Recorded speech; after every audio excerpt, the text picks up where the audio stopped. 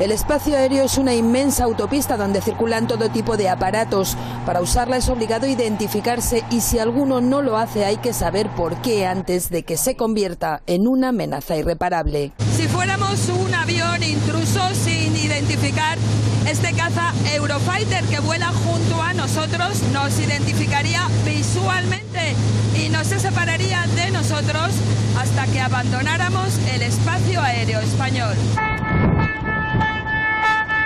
Pero la defensa del espacio aéreo no es solo cosa de aviones. En aguas del Golfo de Cádiz, la fragata Blas de Lezo ha detectado dos señales sospechosas que se cuelan por el sur. Se establece navegación bajo ataque inminente de misil. Son dos cazas que se acercan en actitud hostil.